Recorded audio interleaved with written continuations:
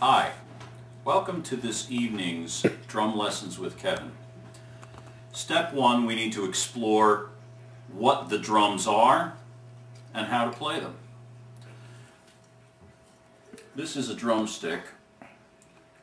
It's uh, a little bit over a foot long and it has a small end and a large end and uh, if you could just uh, bring the camera over this way and get a close-up of the proper way to hit the drum, that'd be great.